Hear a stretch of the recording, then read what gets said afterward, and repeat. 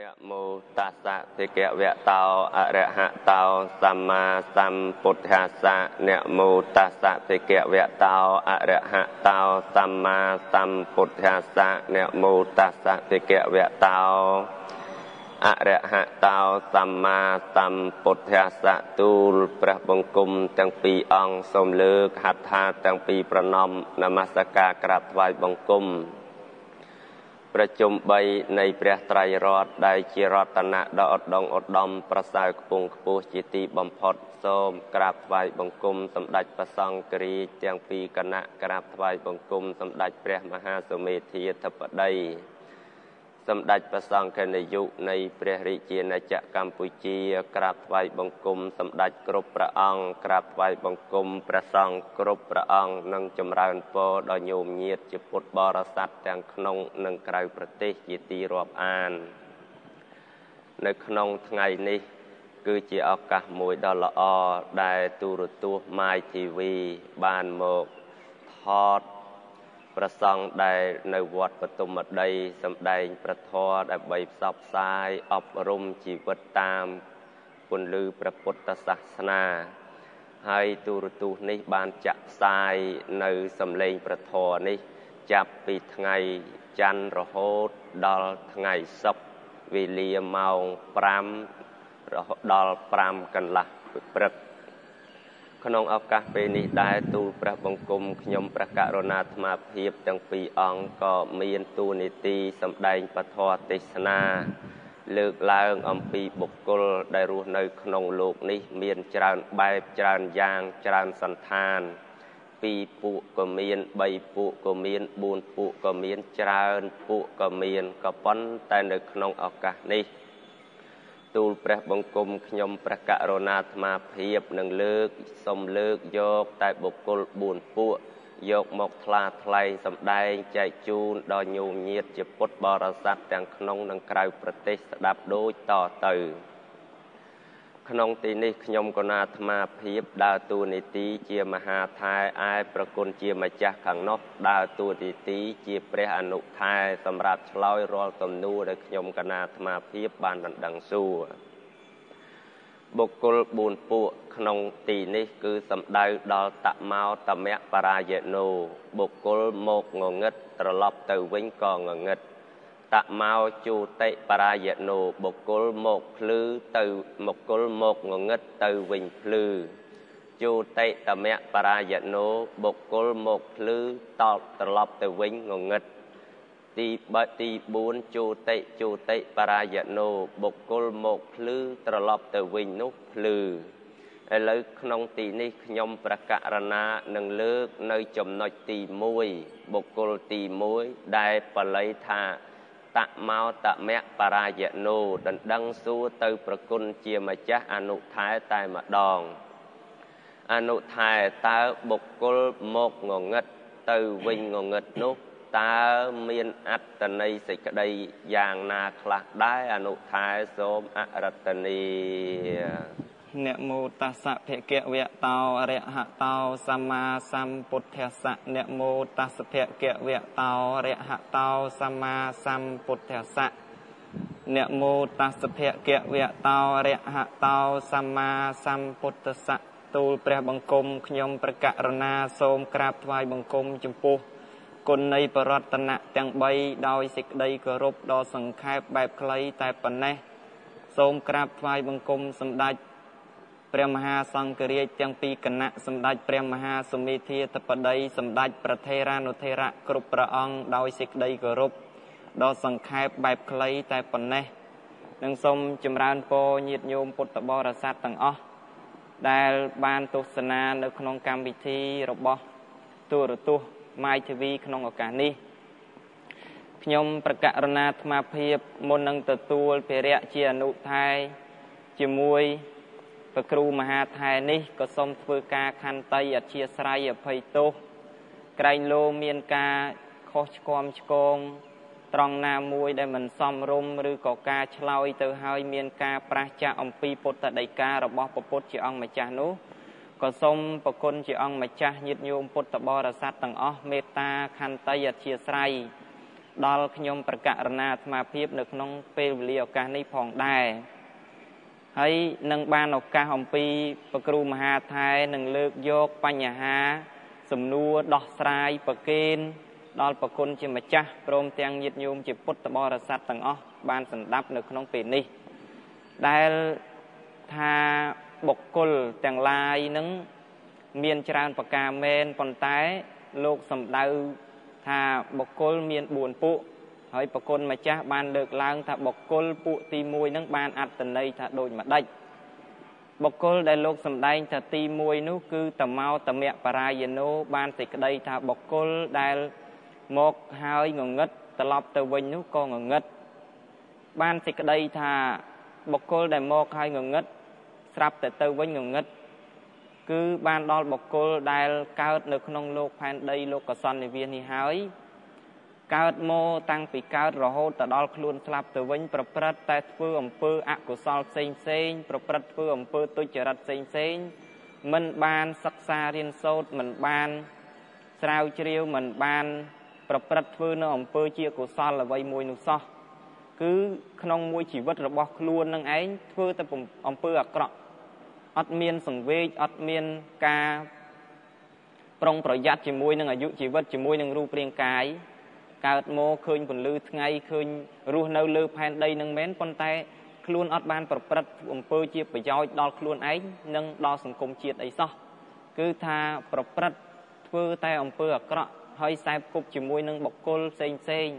ដែលលោកថាបុគ្គលនឹងឯងប្រព្រឹត្តតែអបាយមុខទាំង4មានលបែងស្រីលបែងស្រាលបែងពៀលាលបែងភ្នាល់និងខ្សែគប់នៅបាបប្រមិតជាដើមបុគ្គលនឹងគឺគិតតែប្រព្រឹត្តធ្វើអំពើអាក្រក់ រហូតដល់តែខ្លួនស្លាប់ទៅខ្លួនចាស់ជរាទៅអត់បានធ្វើបំពេញបុណ្យកុសលអ្វីសោះនៅតែប្រព្រឹត្តធ្វើអំពើអាក្រក់ផ្សេងទៀតដល់តែខ្លួនស្លាប់ទៅអំពើអាក្រក់ដែលខ្លួនកើតជាមនុស្សមិនបានធ្វើអំពើបុណ្យនោះវាអត់មានយិតស្ទូងឲ្យបានមកកើតជាមនុស្សឬក៏បានទៅកើតជាទេវតាអីសោះហើយនាំខ្លួនទៅកើតជាមនុស្សពិការពិរីហើយមនុស្សខ្វាក់ខ្វិនឬក៏លែងបានមកកើតជាមនុស្សលែងមានឱកាសបានរស់នៅលើផែនដីនេះទៀតហើយ ក៏ធ្លាក់ទៅកើតនៅក្នុងនរកនៅក្នុងអវិជ័យមានទុក្ខលំបាកវេទនាហើយបើលោកនិយាយអំពីកូនប្រុសកូនស្រីនេះវិញ បានសេចក្តីថាកូននឹងឯងម្ដាយឪពុកខំចិញ្ចឹមបីបាច់ថែរក្សាតាំងពីនៅក្នុងផ្ទៃរហូតចេញចាក់ផ្ទៃមកហើយនៅតែម្ដាយឪពុកចិញ្ចឹមបីបាច់ថែរក្សារហូតហើយមិនទាន់ដឹងគុណម៉ែដឹងគុណឪទេមិនទាន់ចេះគោរពម៉ែគោរពឪគោរពចាស់គោរពតូមទេ ដល់តែពេលម្ដាយឪពុកផ្គត់ផ្គង់ឲ្យទៅសិក្សារៀនសូត្រដល់កន្លែងកន្លែងមួយកន្លែងពីរតាមថ្នាក់តាមសាលានីមួយនីមួយអញ្ចឹងទៅរហូតដល់ថ្នាក់ខ្ពស់អីចឹងទៅ នៅតែមើលមិនឃើញគុណម្ដាយឪពុកនៅតែមិនដឹងគុណម្ដាយឪពុកនឹងទៀតអានឹងអញ្ចឹងបុគ្គលនឹងឯងដែលលោកថាជាបុគ្គលងងឹតហើយ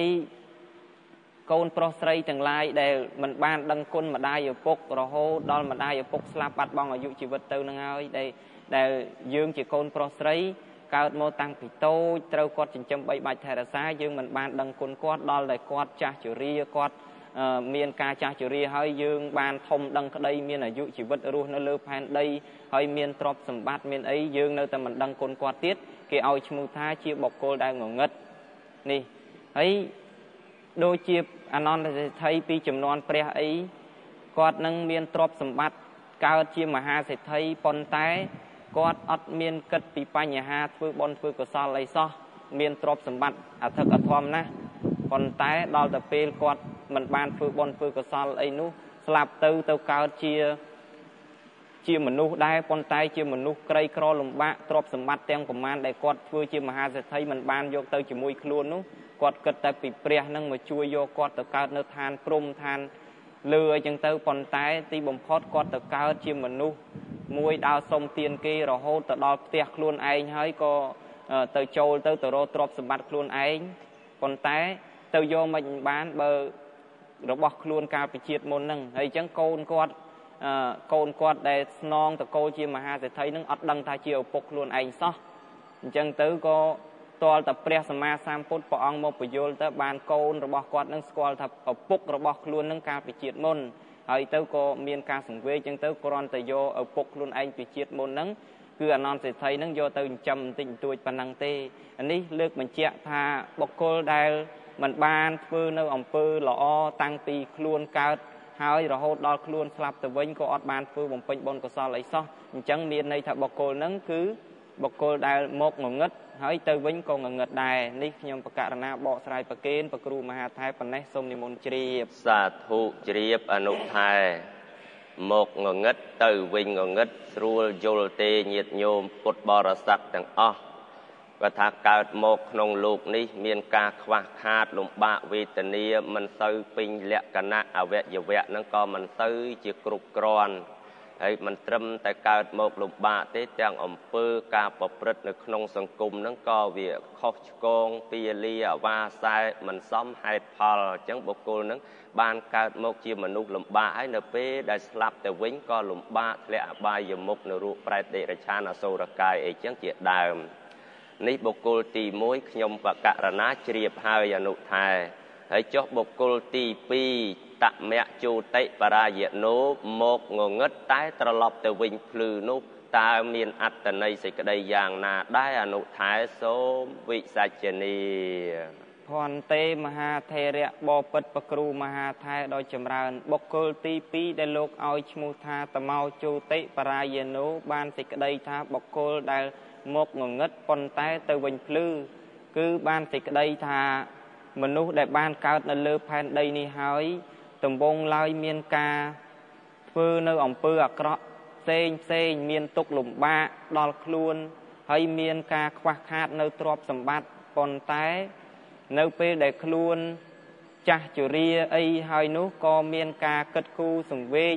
ប្រព្រឹត្តជាប្រយោជន៍ផ្សេងផ្សេងប្រព្រឹត្តធ្វើនៅអំពើបន់ផ្សេងផ្សេង អញ្ចឹងបុគ្គលនឹងមានន័យថាបុគ្គលបានដើរតួនាទីបានដឹងខ្លួនត្រូវវិញកាលពីដើមឡើយ បាន ប្រព្រឹត្តធ្វើអំពើអាក្រក់ប៉ុន្តែដល់តែពេលយូរយូរទៅ មានការសែបគប់មានការប្រព្រឹត្តធ្វើនៅអំពើល្អវិញបុគ្គលនឹងបានតែក្តីថាបុគ្គលមកងងឹតប៉ុន្តែទៅវិញភ្លឺហើយនៅពេលដែលខ្លួន មានការប្រព្រឹត្តធ្វើអំពើអាក្រក់ហើយដល់តែខ្លួនចាស់ជរាទៅ មានការសង្វេគនិងនៅក្នុងជីវិតរូបរាងកាយទៅក៏ប្រព្រឹត្តធ្វើនៅអំពើបន់កុសលផ្សេងផ្សេងបុគ្គលនឹងរមែងស្លាប់ទៅរមែងទៅកើតនៅកន្លែងទីដ៏សំគួរមានសុគតិសួគ៌ឬក៏មកកើតជាមនុស្សហើយក៏ជាមនុស្សដែលល្អជាមនុស្សដែលសង្គមគេទទួលស្គាល់ជាមនុស្សដែលប្រព្រឹត្តអំពើល្អហើយមានទ្រព្យសម្បត្តិស្ដុកស្ដំដោយសារ ការប្រព្រឹត្តធ្វើ អំពីជាតិមុន ជាកម្មរបស់ខ្លួនដែលបានធ្វើអំពីជាតិមុននឹងបកគលដែលថាមកងងឹតទៅវិញភ្លឺម្យ៉ាងទៀតបើចំពោះកូនចៅប្រុសស្រីក៏ដូចគ្នាអញ្ចឹងដែរពីដើមឡើយមិនបានដឹងគុណម៉ែមិនបានដឹងគុណឪទេប៉ុន្តែក្រោយឡើងទៅបានទៅសិក្សារៀនសូត្រដល់ទីផ្សេងផ្សេងអញ្ចឹងទៅក៏នឹកឃើញគុណម្ដាយឪពុក អញ្ចឹងទៅក៏មានការនឹកឃើញគុណម្ដាយឪពុកនៅវិញត្រឡប់ជា មានការត្រឡប់ជាពីដើមឡើយមិនដឹងគុណទេប៉ុន្តែដល់តែខ្លួនបានចេះដឹងទៅក៏ត្រឡប់ទៅជាដឹងគុណម្ដាយឪពុកបំរើម្ដាយឪពុកហើយប្រព្រឹត្តធ្វើអំពើបុណ្យកុសលផ្សេងផ្សេងដូចជាយើងមើលឃើញព្រះបាទអាជាតសត្រូវអីជាដើមអញ្ចឹងទៅដំបងឡើយទៅសែបគប់ជាមួយនឹងទេវទត្តរហូតដល់ហ៊ានសម្លាប់ម្ដាយឪពុកដើម្បីនឹងក្រងរាជសម្បត្តិដើម្បីនឹងទ្រព្យសម្បត្តិដើម្បីនឹងព្រះនគរ ហ៊ានសម្លាប់ដល់ម្ដាយឪពុកដោយសារពីដើមឡើយខ្លួនប្រព្រឹត្តសែបគប់នៅអំពើអាក្រក់ជាមួយនឹងបាបប្រមិតដែលនាំទៅរកផ្លូវខុសប៉ុន្តែក្រោយមកក៏ត្រឡប់ទៅជាដឹងគុណសង្វេគជាមួយនឹងគុណម្ដាយឪពុកនោះវិញហើយក៏មានការប្រព្រឹត្តធ្វើអំពើបុណ្យត្រឡប់មកក្រោយទៅក៏មានការធ្វើអំពើបុណ្យមានការឧបត្ថម្ភដល់សង្គាយនាដល់ព្រះមហាកាសបៈ ព្រះអនន្តនិងព្រះឧបល័យជាដើមនឹងគឺលើកឡើងសង្ខេបមកប៉ុណ្ណេះអំពីបុគ្គលដែលថាមកងងឹតទៅវិញភ្លឺហើយខ្វះខាតយ៉ាងណាសូមព្រះមហាថែនិមន្តជ្រាបសាធុជ្រាបអនុថែមកងងឹតទៅវិញភ្លឺបានន័យថាកាលដែលកើតមកនឹងមិនសូវដឹងខុសដឹងត្រូវបនបាបគុណទោសអីទេ ដល់ពេលបានសិក្សារៀនសូត្រចេះដឹងធំឡើងចេះដឹងគុណមេដាបិតាចេះប្រព្រឹត្តធ្វើអំពើល្អផ្សេងផ្សេងត្រឡប់ទៅវិញអានឹងបានសុខបានចម្រើនហើយដូចជាអឺទុកតៈបរោះអីនោះកើតមកនឹងខ្វះខាតលិចកើតលុយកាក់មិនសូវមានចាយបបោហោហៀក៏ប៉ុន្តែជាបុគ្គលប្រកបដោយសមាទិដ្ឋិ ក្រមែនប៉ុន្តែចេះធ្វើបន់ធ្វើកុសលនៅពេលដែលខ្លួនអស់អាយុពីមនុស្សនេះទៅភ្លឺធ្វើដំណើរទៅកាន់ទីសុខទីសួគ៌នេះយល់អនុថែហើយចឹងខ្ញុំកណាឆ្ងល់បុគ្គលទី3បល័យថាជោតិតមៈបរាយណោបុគ្គលមកភ្លឺតែត្រឡប់ទៅវិញងងឹតតើមានអត្តន័យសេចក្តីយ៉ាងណាដែរអនុថែសូមវិសាចនីបបិទ្ធប្រគ្រូមហាថែដ៏ចម្រើន បុគ្គលទី3ដែលឲ្យឈ្មោះថាជោតិតមៈបរាយណោគឺបុគ្គលដែលមកភ្លឺស្រាប់តែទៅវិញងងឹតគឺបានសេចក្តីថាបុគ្គលនឹងកើតហើយពីដើមឡើយចេះគោរពម៉ែគោរពឪម្ដាយឪពុកនិយាយទៅស្ដាប់ឬក៏ចេះតែធ្វើតាមអាវាតគោរពស្ដាប់ម្ដាយឪពុកណាប៉ុន្តែដល់តែក្រោយទៅគាត់ឲ្យ ទៅរៀននៅកន្លែងនេះកន្លែងនោះផ្សេងផ្សេងធំដឹងក្តីទៅទៅជាខ្សែគប់ជាមួយនឹងបុគ្គលខុសនាំខ្លួនឲ្យធ្លាក់ជឹកចូលទៅក្នុងអបាយមុខផ្សេងផ្សេងប្រព្រឹត្តធ្វើអំពើអាក្រក់ចឹងទៅក៏លែងដឹងគុណម៉ែលែងដឹងគុណឪលែងស្គាល់ចាស់លែងស្គាល់ទុំលែងស្គាល់វត្តអារាមហើយពីដើមឡើយទៅម្ដាយឪពុកចេះស្គាល់វត្តស្គាល់អារាមចឹងទៅជុំទៅជាមួយគាត់ចឹងទៅដល់ទៅពេល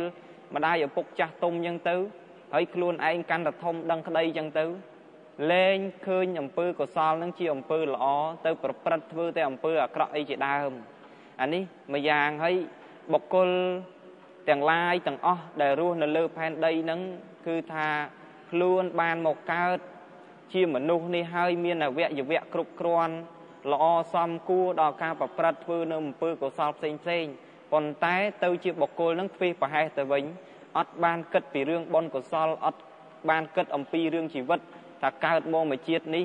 វាមិនទៀងទាត់មិនថិតថេរចេរកាលតាំងនៅទេតែប្រហែលថ្ងៃទៀតប្រហែលឆ្នាំទៀតយើងត្រឡប់ទៅវិញហើយមានន័យតែស្លាប់ទៅវិញហើយដល់តែកើតមកបានជាមនុស្សនេះហើយទៅជាអត់បានគិតទៅជាទ្វេប្រហែសលែងប្រព្រឹត្តធ្វើអំពើបន់អត់មានបន់ត្រត្រង់ស្លាប់ទៅលែងបានមកកើតជាមនុស្សអញ្ចឹងមានន័យថាបកគលនឹងគឺថាមកជាមនុស្សនេះមានឱកាសបានភ្លឺមានន័យថាមានទ្រព្យសម្បត្តិមាន អ្វីសពគ្រប់បែបយ៉ាងចឹងទៅសម្រាប់បំពេញបុណ្យកុសលប៉ុន្តែខ្លួននឹងឯងទៅជាមិនបានគិតមិនបានសង្វេគជាមួយនឹងរូបរាងកាយរវល់តែមានការដឹកនាំដោយតណ្ហាដោយសេចក្តីប្រាថ្នាដោយអំពើអកុសលចិត្តផ្សេងផ្សេងវាជាអ្នកដឹកនាំទៅទៅរកតែសេចក្តីអាក្រក់ផ្សេងផ្សេងប្រព្រឹត្តធ្វើនៅអបាយមុខដែលជាផ្លូវនៃសេចក្តីវិនិច្ឆ័យនោះ អត់មានអំពើចម្រើនសោះដល់ទៅពេលទៅអនាគតទៅ វាងងឹតលែងបានមកកើតជាមនុស្សលែងបានមកចាយទ្រពនៅលើផែនដីនេះទៀតបានតែលោកសំដែងថាបុគ្គលនឹងឯងអឺមកភ្លឺប៉ុន្តែទៅវិញងឹតលែងបានមកកើតជាមនុស្សលែងមានឱកាសបំពេញបុណ្យកុសលលែងបានឱកាសរស់នៅលើផែនដីលែងបានឱកាសរស់នៅ ដើម្បីឃើញនៅ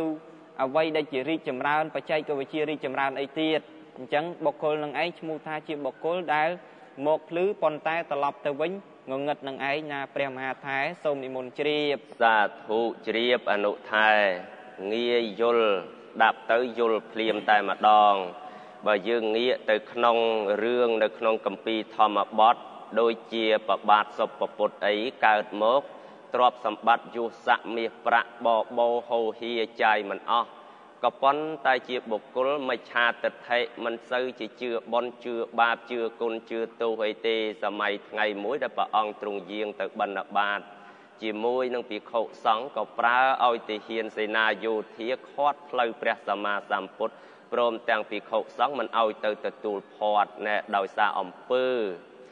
មិនខ្លាចបាបដូច្នេះធ្វើឲ្យសុពពុទ្ធ7ថ្ងៃក្រោយមកពធនីស្រូបទាំងរស់បាត់ទៅ ហ្នឹងអំពើអាក្រក់មកវិញភ្លឺមែនទ្រព្យសម្បត្តិមាសប្រាក់ចំណេះវិជ្ជា មានសពគ្រប់ក៏ប៉ុន្តែអំពើដែលខ្លួនប្រព្រឹត្តក្នុងបច្ចុប្បន្នហ្នឹងវាដំណើរដើរទៅរកផ្លូវងងឹតនៅពេលដែលនៅទាំងរស់អញ្ចឹងពធនីស្រូបព្រឹបទៅឬមួយដូចជានាងចេញចាមានវិការរូបសម្រស់ក៏មានកើតមកចំណេះវិជាក៏មានក៏ប៉ុន្តែជាបុគ្គលទៅខ្សែគប់ជាមួយ ពួកពីលពួកអសពបរោះនោះក៏បានបទុសរាយជាមួយព្រះសម្មាសម្ពុទ្ធចុងក្រោយពធនីស្រូបទាំងរស់បាត់ទៅណែញោមមើលមិនថាទេឲ្យតកើតមកមានទ្រព្យសម្បត្តិហើយទ្រព្យសម្បត្តិយុស័ករបស់ទាំងអស់ហ្នឹងធ្វើឲ្យយើងចម្រុងចម្រើនអត់ទេតែយើងមិនចេះប្រើរបស់ទាំងអស់ហ្នឹងយើងភ្លឺបានតែក្នុងមួយជាតិបច្ចុប្បន្នហ្នឹងនៅពេលដែលយើងស្លាប់ទៅងងឹតសូនឈឹងតែម្ដង នេះបុគ្គលទី2មកភ្លឺតែទៅវិញងងឹតហើយចុះបុគ្គលបុគ្គលទី3ហើយចុះបុគ្គលទី4វិញអនុថែជោតិជោតិបរាយណូបុគ្គលមកភ្លឺតែទៅវិញក៏ភ្លឺនោះតើមានអត្តន័យសេចក្តីយ៉ាងណាដែរអនុថែសូមបកស្រាយតសៈវចនងអហង្សុតថ្វាមហាថេរៈបពិតប្រគ្រូមហាថែដ៏ចម្រើនបុគ្គលទី4 ដែលឲ្យឈ្មោះថាបុគ្គលដែលមកភ្លឺទៅវិញភ្លឺសំដៅទៅលើបុគ្គលទាំងឡាយដែលកើតនៅលើផែនដីនេះ កើតមកហើយមានទ្រព្យសម្បត្តិមានទ្រព្យសម្បត្តិស្ដុកស្ដំមិនខ្វះខាតអីនោះទេហើយមានរូបរាងកាយជាមនុស្សមានលក្ខណៈល្អអញ្ចឹងបុគ្គលនឹងគឺថាប្រព្រឹត្តធ្វើនៅអំពើកុសល ហើយមានការប្រព្រឹត្តធ្វើអំពើបុណ្យកុសលផ្សេងផ្សេងមិនប្រព្រឹត្តវាចាអំពើ អកុសលផ្សេងផ្សេង មានការតាំងចិត្តសង្វេគចំពោះជីវិតនិងសង្ខារហើយប្រព្រឹត្តការមានការសមាទានសិលការធ្វើទានការភាវនាការគោរពចាស់គោរពទុំគោរពម្ដាយឪពុករបស់ខ្លួន ដឹងគុណម្ដាយឪពុករបស់ខ្លួនជាដើមបុគ្គលនឹងឯងគឺថាក្នុងជាតិដែលមកកើតជាមនុស្សនេះគឺប្រព្រឹត្តធ្វើតែអំពើកុសលទេហើយវាចាស់អំពើអបាយមុខផ្សេងផ្សេង មានការ មិនទៅខ្សែគប់ជាមួយនឹងបាបប្រមិតដែលដែលជាហេតុនាំធ្វើឲ្យខ្លួននឹងឯងទៅជាខាតបង់អីនោះទេបុគ្គលនឹងភ្លឺមានបញ្ញាថ្លាពធីហើយបានសិក្សារៀនសូត្រខ្ពង់ខ្ពស់ណាស់បុគ្គលនឹងនៅពេលដែលខ្លួនបានប្រព្រឹត្តធ្វើនៅអំពើជាកុសលផ្សេងផ្សេងហើយហើយខ្លួនមានទ្រព្យសម្បត្តិហើយបានប្រព្រឹត្តធ្វើយ៉ាងហ្នឹងគេថាកើតនៅក្នុងលោកហ្នឹងភ្លឺហើយ ដល់តែខ្លួនបានធ្វើអំពើបុណ្យកុសលដែលទុកសម្រាប់ជាតិនេះហើយដល់តែពេលស្លាប់ទៅ មានបុណ្យកុសលនឹងជាអ្នកយឹតយោងនោះទៀតបានទៅកើតក្នុងសុគតិសួគ៌ឬក៏បានមកកើតជាមនុស្សដែលលោកឲ្យឈ្មោះថាពពេកតបញ្ញតាភាពជាបុគ្គលដែលបានធ្វើបុណ្យទុកនៅក្នុងកាលមុនអញ្ចឹងបុគ្គលដែលកើតមកមានទ្រព្យសម្បត្តិនឹងមានថាសង្វេគចេះចាយចំណាយទ្រព្យសម្បត្តិនឹង ប្រព្រឹត្តធ្វើឲ្យជាប្រយោជន៍ដល់សង្គមជាតិផងដល់ខ្លួនឯងផងដល់អ្នកដតីផងដល់អ្នកចិត្តខាងផងរហូតជាប្រយោជន៍ដល់ខ្លួនទៅខាងមុខនោះទៀតគេថាជាបុគ្គលដែលបានធ្វើបុណ្យហើយទុកក្នុងកាលមុន យើងគិតដូចជានាងវិសាខាលោកយាយមហាបាសិកាវិសាខាអីជាដើមអញ្ចឹងគាត់ជាអ្នកមានទ្រព្យសម្បត្តិហើយគាត់ប្រព្រឹត្តធ្វើអំពើបុណ្យកុសល ធ្វើអំពើបុណ្យកុសលផ្សេងផ្សេងរហូតទៅកើតនៅក្នុងឋានសួគ៌ហើយបានសម្រេចធម៌នឹងតាំងពីអាយុ7ឆ្នាំមកម្លេះអញ្ចឹងជាបុណ្យកុសលរបស់គាត់គាត់មានទ្រព្យសម្បត្តិហើយគាត់បានប្រព្រឹត្តធ្វើអំពើបុណ្យទៀតអនាតបណ្ឌិកសិទ្ធិជាដើមនឹងសុទ្ធតែជាអ្នកមានការប្រព្រឹត្តធ្វើបុណ្យទុកនៅក្នុងកាលមុនហើយជាអ្នកមានការ ភ្លឺមានទ្រព្យសម្បត្តិហើយស្លាប់ទៅបានទ្រព្យសម្បត្តិបានបុណ្យកុសលដែលខ្លួនធ្វើទុកនឹងទៅជាប្រយោជន៍ទៅកើតក្នុងសុគតិសួគ៌ទេវលោកនោះទៀតនេះដូច្នេះបានខ្ញុំបកករណាបកស្រាយអំពីបកគលដែលមកភ្លឺហើយទៅវិញភ្លឺនេះខ្ញុំបកករណាបកស្រាយបានប៉ុណ្ណេះបើខ្វះខាតត្រង់កន្លែងណាសូមព្រះមហាថៃជួយបំពេញបន្ថែមសូមនិមន្តជ្រាប សាធុជ្រាបអនុថៃអរប្រគុណច្រើន ដែលបានបកស្រាយនៅសំណួរបុគ្គល4ពួក ដែលរស់នៅក្នុងសង្គមមានលក្ខណៈផ្សេងផ្សេងគ្នាជាពិសេសចុងក្រោយហ្នឹងគឺបុគ្គលមកភ្លឺទៅវិញភ្លឺបុគ្គលពួកទី4នេះសំខាន់បំផុតញាតិញោមបើសិនជាមានទ្រព្យសម្បត្តិហើយយើងត្រូវចេះប្រើប្រាស់ចាយវាយឲ្យសមរម្យទៅតាមធម៌ដែលព្រះសម្មាសម្ពុទ្ធព្រះអង្គទ្រង់ថ្លែងសម្ដែងទុកមកហើយ ហើយបុគ្គលផ្សេងផ្សេងតាំងពីអតីតមុនមកក្នុងឯងក៏តែងតែប្រព្រឹត្តទៅតាមគន្លងធម៌ហ្នឹងឃើញថារួចចាក់ទុកច្រើនគ្នាណាស់មកហើយដូចជាអនាថបណ្ឌិកសិទ្ធិដែលលះបង់ទ្រព្យសម្បត្តិធ្វើទានមិនស្ដាយរហូតដល់ទីបំផុតរួចចាក់ទុកដែរដោយលោកយាយវិសាខាដោយអនុថែបានលើកឡើងមកអីចឹង មានទ្រព្យសម្បត្តិហើយមានចិត្តសមាទិដ្ឋិបំពេញសេចក្តីល្អឃើញអ្នកក្រកំសត់ទូរគុតចេះចែករំលែកខ្លួនឯងមានសេចក្តីសុខហើយចែកអាសេចក្តីសុខនឹងឲ្យដល់អ្នកដទៃទៀតឲ្យបានសេចក្តីសុខដូចខ្លួនដែរអំពើដែលខ្លួនបានប្រព្រឹត្តធ្វើដោយកាយល្អវិចារល្អចិត្តល្អហ្នឹងអំពើហ្នឹងតែងនាំខ្លួនបុគ្គលនឹងឯង រស់នៅក្នុងសង្គមនឹងក៏មានកិត្តិយសគេឈ្មោះល្អប្រពៃនៅពេលដែលអស់អាយុពីលោកនេះទៅ នៅមានគេតសើនៅមានគេអាណិតមានគេស្ដាយហើយធ្វើដំណើរទៅតាក់ភ្លឺទៅតទៅមុខទៀតកើតក្នុងសួគ៌ទេវលោកជាដើមដូច្នេះការលើកឡើងបុគ្គល4ពួកបុគ្គលទី1មកងងឹតទៅងងឹត បុគ្គលទី2មកងងឹតទៅភ្លឺបុគ្គលទី3មកភ្លឺទៅងងឹតបុគ្គលទី4មកភ្លឺទៅភ្លឺសន្មត់ថាបញ្ចប់ត្រឹមតែប៉ុណ្ណេះប្រមុំផ្ដុំប្រមូលកងការមហាកុសលដែលកើតអំពីការថ្លែងសម្ដែងធម៌ទេសនាក្នុងឱកាសនេះឧទ្ទិសដល់អតីតប្រសង់គ្រប់ចំនួនដែលខំកាត់ថែរក្សាការពារសាសនានឹងព្រមទាំងអតីតពពៈបរោះពលីជីវិតស្នេហាការពារទឹកដីគ្រប់ចំនួន ព្រមទាំងអតីតព្រះបរមរតនកោលព្រះនាយប្រញាតវងសានុវងព្រមទាំងសពសត្វទាំងអស់សូមឲ្យអ្នកទាំងអស់នោះបានទទួលមគ្គផលកុសលផលបុណ្យទៅកើតក្នុងទីសំគួរមកផ្នែកទៀតសូមជូនដល់ថ្នាក់ដឹកនាំប្រទេសគ្រប់ឋានានុក្រមហើយនឹងសូមជូនដល់ប្រគុណជាម្ចាស់និងញោមញាតពុទ្ធបរិស័ទទាំងក្នុងនិងក្រៅប្រទេសជាពិសេស ខាងទូរទស្សន៍ My TV សហការីក្រុមការងារនឹងទាំងអស់សូមឲ្យជួបប្រទេសសេចក្តីសុខសេចក្តីចម្រើនប្រាថ្នាអ្វីសូមឲ្យបានសម្រេចដូចសេចក្តីប្រាថ្នាការថ្លែងសម្ដែងធម៌ទេសនាលាលែងតំណែងមហាថៃអនុថៃសន្មត់បញ្ចប់ត្រឹមតែប៉ុណ្ណេះឯងអេវ៉ាំង